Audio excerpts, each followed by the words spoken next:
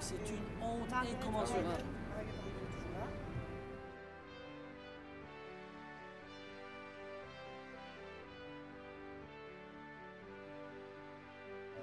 Donc, est-ce que nos consommations, nos agriculture, c'est partagé? Hein? C'est un problème grave. Il y a eu aussi une dégradation des scientifiques qui, Ah oui, ben, l'indépendance. qui, qui, est, qui est partout, qui est très très répandue. Je vais vous dire honnêtement, euh, en ce qui concerne le gouvernement qui est en place actuellement, euh, je pense que non.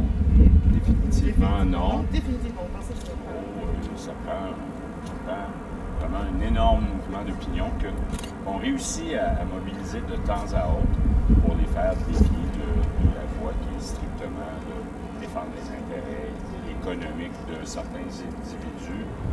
Je suis euh, Marie Malavoie, députée de Taillon sur la rive sud de Montréal. Je viens de voir ce film que je trouve euh, magnifiquement fait, mais en même temps très troublant parce qu'on se rend bien compte que toute cette question des OGM, d'abord, elle, traverse nos vies sans trop qu'on s'en rende compte, euh, qu'il y a un problème lié au fait qu'il n'y a pas d'étiquetage. Moi, je suis dans un parti politique, Parti québécois, qui souhaite qu'il y en ait. Je pense qu'effectivement, ça doit commencer par ça. Mais au-delà, je trouve que ce qui est troublant, c'est de se dire qu'il y a déjà des dommages qui ont été faits. Euh, les OGM, ça se transporte par pollinisation euh, d'une culture à l'autre. Et, donc, je pense que c'est un problème qu'il faut certainement prendre euh, à bras le corps, tout en se disant que il y a des gens aussi à respecter, ce sont les producteurs agricoles, ce sont les gens qui vivent de l'agriculture, qui probablement, dans certains cas, se sont embarqués dans cette aventure des OGM sans trop s'en rendre compte. Et je pense qu'il faut essentiellement travailler avec eux, parce qu'il ne s'agit pas de mener un combat les uns avec les autres, mais de trouver des solutions qui conviennent à tous. Bonjour, mon nom est Scott McKay. Je suis euh, député du comté de l'Assomption et porte-parole de l'opposition officielle en matière de développement durable et environnement à l'Assemblée nationale du Québec. Alors, euh, j'ai visionné avec euh, beaucoup d'intérêt le documentaire de Mme Marie-Monique Robin euh, sur euh, Monsanto.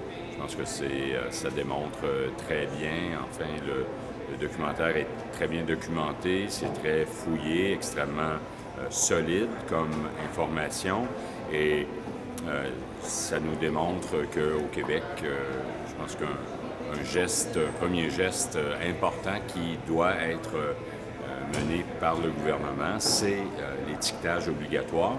Il s'agit simplement en fait de rendre l'information disponible pour que les Québécois, les Québécoises puissent euh, faire leur choix.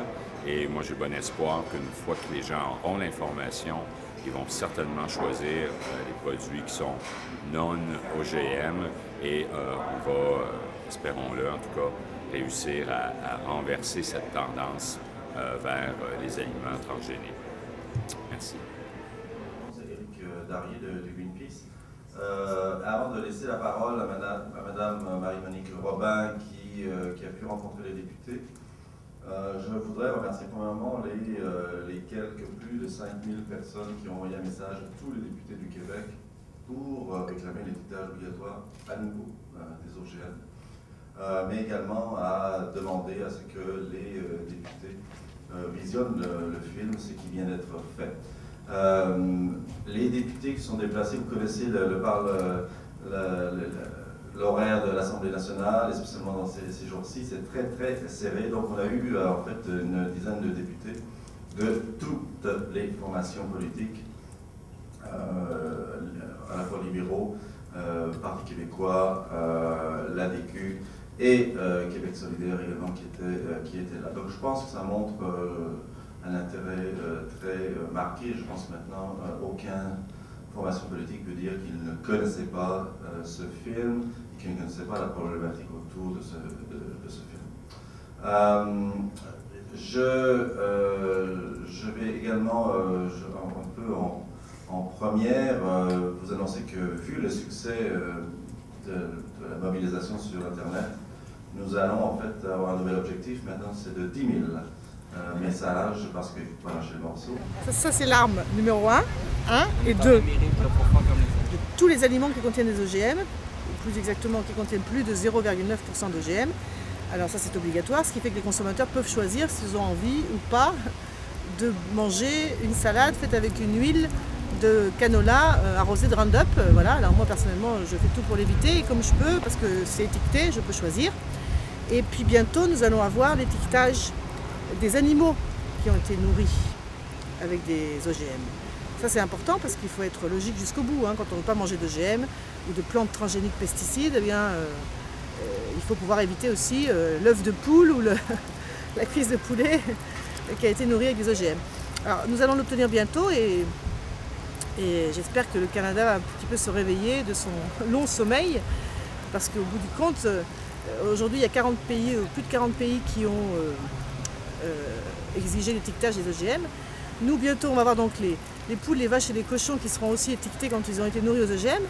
Alors les, vaches, les européennes ont plus de chances que les consommateurs canadiens finalement, parce que les vaches elles pourront savoir si elles sont nourries aux OGM ou pas, mais pas les consommateurs canadiens, donc il y a un truc qui ne va pas là. Hein. Donc j'espère qu'au moins cette rencontre de ce matin fera que l'information va circuler et que cet étiquetage euh, euh, finira par être euh, mis en place ici au Canada et, au Québec en particulier. Stéphane Groslot des Amis de la Terre de Québec. Donc, nous, on était plusieurs personnes des Amis de la Terre qui étaient présents pour observer, pour être présents, pour voir comment ça se déroulait et voir la présence des députés. ce qui était intéressant, c'est vraiment que les, les députés qui étaient ici ils ont vraiment montré un intérêt, puis il y, avait des questions ensuite. Donc on voit que si tous les députés avaient l'occasion de voir le film, c'est sûr qu'il y aurait une beaucoup plus grande mobilisation, puis les citages en aurait rapidement. Donc, euh, entre nous, avec les animateurs, on continue à justement sensibiliser et à diffuser l'information sur euh, les OGM en, particulier. Oui, euh, François Desgages-Gilardo, analyste en alimentation chez Option Consommateur. la consommation responsable, c'est quelque chose d'assez complexe qu'on pourrait discuter longuement. Mais ce qui est certain, c'est que pour pouvoir consommer de façon responsable, oui, il faut vouloir le faire. Donc, il faut la volonté des consommateurs, mais aussi il faut pouvoir le faire. Donc, il faut avoir l'information. 90 80-90 des consommateurs québécois ou des, Québécois disent et des Québécoises disent qu'ils veulent l'identification des OGM. Donc, euh, peut-être par corrélation, qu'ils ne considèrent pas que encourager l'industrie des OGM et encourager la consommation des OGM est une, consommation responsable.